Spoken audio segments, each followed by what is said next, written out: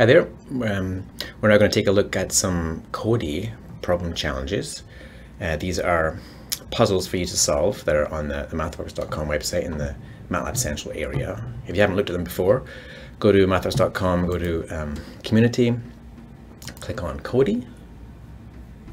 And the set of questions we're going to look at are those in this 2016B feature challenge. These help you learn the new features that came out in 2016. B. Now I um I've done some of these already, uh, but I want there's one I want to redo because I was told I didn't use the right features that I was meant to when I tried to do it. Some of these, most of these problems you can solve by um, by multiple um, multiple ways. So um, let's take a look at the um,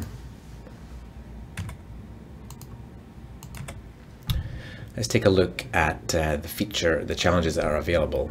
Um, once again, you get to them by going from um, mathworks.com, going to the community, clicking on uh, Cody, and um, clicking on the 2016B uh, feature challenge. Um, so if I do them in these this order, hold just to let's see, this one here, this is the very first one I tried, but um, I used regular expressions to solve this one, uh, but there is a nice new feature in MATLAB which is makes it a little bit easier. So what this puzzle um, uh, is, or this problem is, is that you're given a, a string, it's actually a, it's a XML string with a bunch of tags, and you're trying to extract uh, a substring from it. And these are actually um, goal events from a, a, database, a Soccer database. Um, and you need to extract the number that's in between the two tags. You've got one tag called elapsed, the ending tag and a beginning and ending tag of elapsed. And then um, that number you need to extract, okay? So as I said before, I, I often use regular expressions to, to get these, but um, I recommend that you, there's usually a link on each one of these challenges to um, documentation in MATLAB that are, has a features that you might want to make use of to solve the problem. And here are, this is a summary of the character and string array um, features in MATLAB. And after 16b, there's a, there's a lot more of, of these. So if we want to extract um, something out of something else, um, we could take a look at some of these things to see some of these features to see if there's one that suits. So you've got contains. Um, so for example, I, I, tend to always use regular expressions to find things, but they can be pretty cryptic when you're writing regular expression uh, strings. Uh, so let's look at what else is available. You've got um, find and replace, starts with, ends with. Um, so we don't need to replace anything. We just need to find the number 22 and take it out. Join and split, we don't want to do that. Edit, erase, extract. Okay, so extract between. That looks like something that we need. So extract between, you give it a string um, to look into a start point and an end point, and it takes what's in what's between that. So that looks exactly what we want. So um, you can use these features from 16b on. I happen to be using um, 17a here, but uh, the same, they will work in 16b. So with Cody, um, usually some, there's some example data generation. In this case here, here's a command that that um, generates a string for you, but then later on down here, you actually enter your code for it to be tested. So let's start with this. So we have our, um, so this is just a regular character array. It's actually not a string array, which is a new data type which came in in 16b. Um, so just a regular character array. And you can use most of the, uh, I believe most of the functions, the new string array processing functions also work on um, character arrays and cell arrays of, uh, of strings. So let's try and use the extract um, between function, extract between, and then we go GED is the um, string you want to look into. Starting um, the starting string you want to um, look for is elapsed. Uh, oh, elapsed. And the ending um, string is going to be the closing of that tag. Like that. Ah, there we go. Um, and that return, so that returned a cell array. I guess this is so that you, because it, there may be multiple, multiple things it can find, is my guess. Maybe. Um, so it doesn't return a, a, string. So in a cell, with it being a cell array, you have to get, in order to extract that 22, you have to get inside the cell array. So I'm going to do that by assigning to a, a, variable next. So I've got a variable called found. It's a cell array. And if you know from cell you have to use squiggly brackets to get inside it to get the contents. So the cell array as a container, squiggly brackets lets you take the contents out. In this case, let's look and see what's in there. And that is answer equals 22. 22 is a character array, just like that.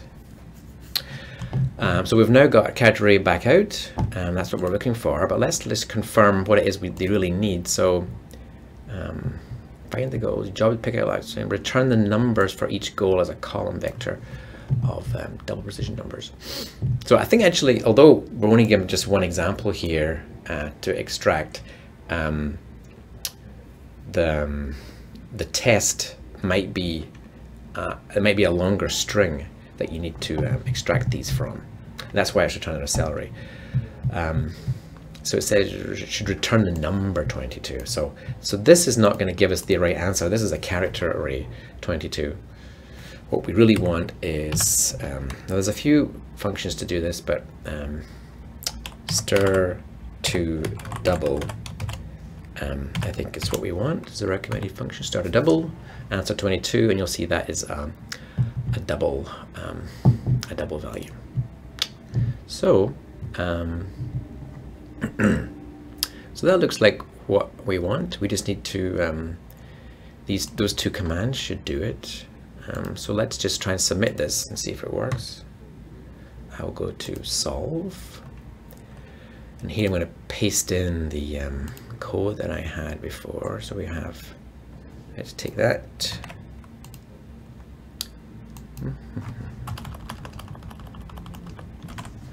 Found uh, creates my my cell array variable, and then I need to assign the um, output function, and I'm going to do stir to double, and then index into the found with the squiggly brackets. There's only oh. Sorry this is well let's let's try this because I think this won't work actually because um, let's try this but I bet you it's going to fail um, because I think it has to handle arrays um, so let's try this mm. it didn't work so it actually tells you which is good with the code get there's a test suite of results and you'll see that it worked for this first test because it's a single array that's being sent in. But um, what it failed on with was with this um, longer string, or sorry, not single array, but single, so a single string, but there was only one occurrence of the elapsed time. Here, there's multiple occurrences, so it's expecting um, a column result to come back. So that failed. So that worked. That failed. So I didn't really. I, I only tested it with my single character array. I didn't I forgot that it needs to handle uh, a single character array, but with multiple instances of the of the number inside it. So let's play around with to see what that would be like. So um, so we have this um, GUI, so um, GED. Uh, how about we just make it twice as long by going GED um, GED. Uh, will I put a space? No, I won't like that. So we've now got it twice as long, like that. Um, no. And then, so there's a number 22 there. And let's make this one different, make it 25.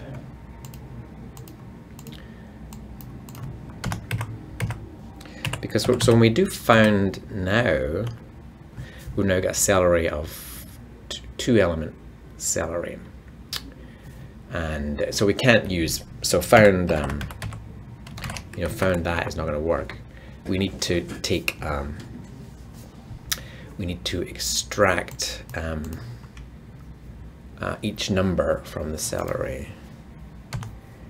Um, so there is a few. There are a few ways. So that actually, so that character arrays. These are actually inside. Remember, each one of these is a is a, a string inside a cell array, and we need to turn them into numbers. So there's probably a function like there are there are cell2mat functions that are that usually can handle this. I guess we could try it. Um, um, other cell to let's see what cell2mat does. Cell to mat. I often find well each one of these forget which one of these does. So this is now this is now a character array. I don't know if this is what we want.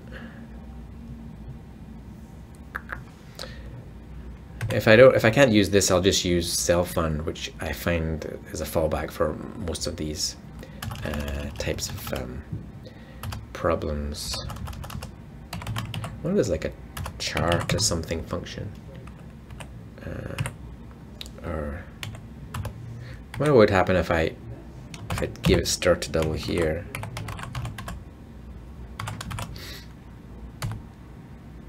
No, it's not gonna like that.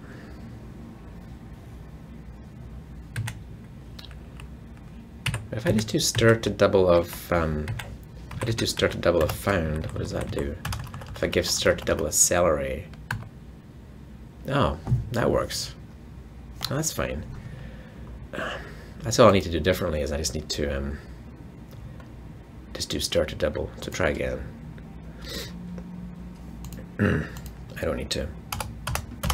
So this, on its own, should bring out the elapsed number. Let's try that.